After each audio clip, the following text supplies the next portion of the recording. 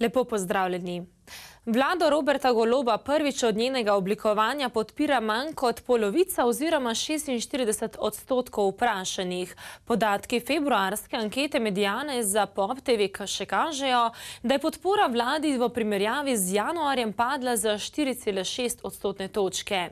Največji koalicijski stranki Gibanje Svoboda je podpora od januarske ankete padla za 1,5 odstotne točke. Največji opozicijski stranki SDS pa je podpora zrasla za 1,9 odstotne točke. Podprlo bi jo torej 22,2 odstotka vprašanih. Sledijo NSI 6,4 odstotka podpore, januarja 5,5 odstotka, SD s 5,1 odstotka, januarja 6,1 odstotka in Levica s 5 odstotno podporo, januarja pa 3,7 odstotka. Med politiki so vprašani najvišjo povprečno oceno ponovno podelili poslanci poslancu SDS Anžetu Logarju, na drugem mestu je predsednica republike Nataša Pirc-Musar. Ljubljanski mestni svet bo danes odločal o podaji soglasja k izplačilom nagrad za delovno uspešnost delu vodstva zdravstvenega doma Ljubljana za 2021. V ljubljanski opoziciji izplačilu nasprotujejo. V levici so predlagali umik točke z dnevnega reda seje, glas za otroke in družine predsejo pripravlja protest, pirati pa protestno čajanko. Slednji bodo v okviru akcije zbirali zgodbe o izkušnjah občanov z delovanjem zdravstvenega doma v Ljubljani, na to pa jih nameravajo predstaviti na seji mestnega sveta. V stranki glas za otroke in družine pa poleg ogrožanja zdravja županu Zoranu Jankoviču očitajo ogrožanje demokracije, pa tudi pitne vode z izgradnjo kanalizacijskega kanala C0 na območju ljubljanskega vodonosnika. Okužba s humanim papiloma virusom je najpogostejša spolno prenosljiva okužba, s katero se večina spolno aktivnih ljudi okuži vsaj enkrat v življenju. V zdravstvenem domu za študente Univerze v Ljubljani v želji po boljši zaščiti mladih pred okužbo v sredo organizirajo že 14. cepilni dan, na katerem se mladi lahko cepijo proti HPV. Iz zdravstvenega doma za študente sporočajo, da je cepljenje učinkovita zaščita pred boleznimi zaradi okužbe s HPV za oba spola. Na brezplašno cepljenje vabijo študentke zamudnice, rojene leta 1998 in mlajše, ki še niso bile cepljene, ter samoplačniško za vse študentke in študente, ki se želijo zaščititi pred okužbo. Na Univerzi v Mariboru v skladu s področjem pametna, trajnostna in vključujoča rast načrta za okrevanje in odpornost v obdobju 2022 do 2025 izvajajo pilotne projekte, katerih rezultati bodo podlaga za pripravo izhodišč za reformo slovenskega visokega šolstva za zelen in odporen prehod v družbo 5.0. Gre za 23 pilotnih projektov v skupni vrednosti 26 milijonov evrov. Med njimi je razvoj krajših izobraževanj oziroma mikrodokazil, s katerimi bi lažje sledila potrebam na trgu dela. Poglejmo. Univerza v Mariboru izvaja v okviru načrta za okrevanje in odpornost 23 pilotnih projektov v skupni vrednosti 26 milijonov evrov. Pilotni projekti se na eni strani osredotočajo na usklajevanje pričakovanja trga dela glede znanj diplomantov ter oblikovanje kurikula, ki bo usklajen z deležniki, na drugi strani pa zadovoljujejo potrebo po zagotavljanju digitalnih znanj in kompetenc za zeleni prehod. 40 let se s kompetencami, ki jih bomo pridobili na trgu dela, ne bomo več obdržali, ne? če smem tako reči. Kot ste slišali od mojih kolegov, razvoj gre zelo hitro naprej in morda nekdo, ki se bo upisal prvi letnik računalništva letos, čez, bo čez pet oziroma šest let potreboval že nova znanja. Ne? Tako jaz to uh, seveda predvidevam, da bo tako in na univerzi mu bomo to tudi omogočili. Z načrtovanimi vsebinami pilotnih projektov se navezujejo na cilje trajnostnega razvoja Združenih narodov, ki poziva vse učeče se, da do leta 2030 pridobijo znanje in veščine, potrebne za spodbujanje trajnostnega razvoja, med drugim tudi z vključevanjem okoljskih in podnebnih vprašanj v visokošolsko izobraževanje.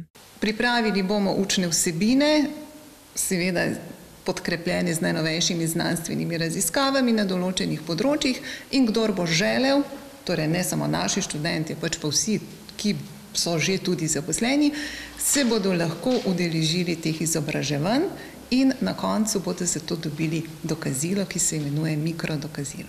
V praksi to pomeni.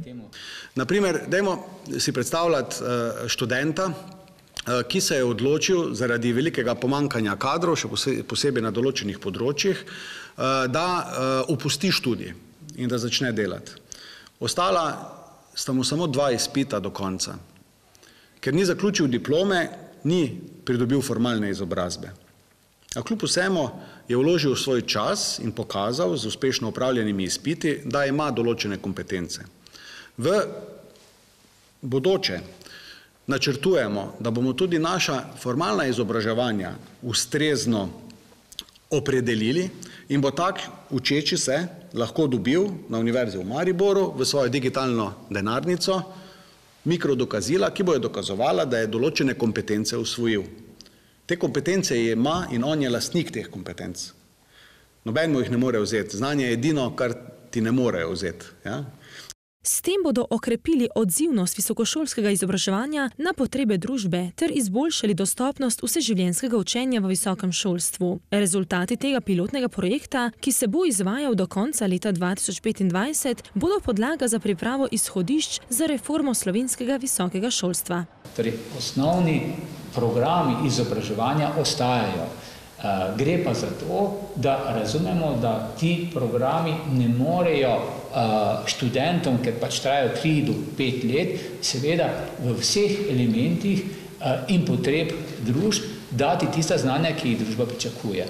Po njegovih besedah naslavljajo tudi strani gospodarstva večkrat izpostavljena domnevna razhajanja med znanjem diplomantov in potrebami na trgu dela. In kot rečeno, zagotovo bo to lahko ena od možnosti, kjer bodo naši diplomanti uh, razmišljali in diplomantke seveda razmišljali o tem, da če pa si bo pridobil še to mikrodokazilo in to mikrodokazilo, ki bo seveda na voljo in ki bo uh, tudi uh, omogočen, da si jih pridobi, potem bo pa konkurenčnejši pri, pri iskanju zaposlitve pri točno določenem uh, zaposlovalcu, ki seveda ta mikrodokazila prepoznava kot pomembno dodano vrednost. Vsi pilotni projekti za univerzo pomenijo veliko pridobitev, izvajali pa se bodo v različnih obdobjih.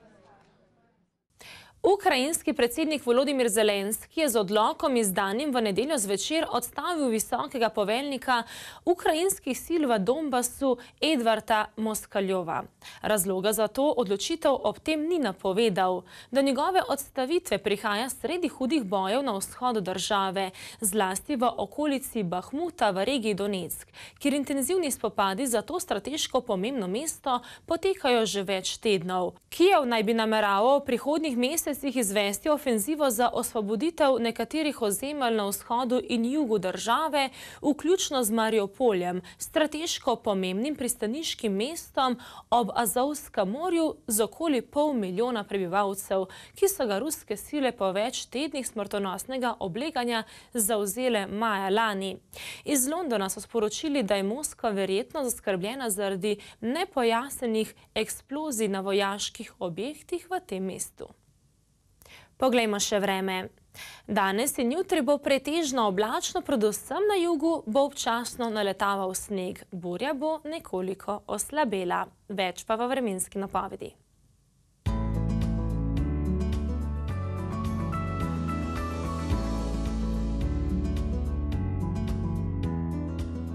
Danes bo pretežno oblačno, nekaj sonca bo občasno le na primorskem. Predvsem v južnih krajih bo občasno naletaval sneg. Pihal bo severovzhodni veter na primorskem zmerna domačna burja, ki bo čez dan nekoliko oslabela. Najviše dnevne temperature bodo od minus 1 do 3 na primorskem do okoli 7 stopinj Celzija. Jutri bo po večini oblačno, ponekod v zahodni in severni Sloveniji se bodo oblaki občasno trgali. Na primorskem bo pihala šipka do zmerna burja, ki se bo zvečer spet krepila. Najnižje jutranje temperature bodo od minus 6 do minus 1 na Goriškem in obmorju okoli 3, najviše dnevne od nič do 5 na Primorskem do 10 stopinj Celzija.